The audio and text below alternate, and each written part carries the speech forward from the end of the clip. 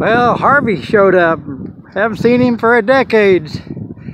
And uh, we just got a real quick, me and Spike got a real quick ride around the park, while around the field while uh, he's waiting for some people to show up to get a ride. So thought, well, I and I should have videotaped while we went around the patch. But anyways, we'll get this.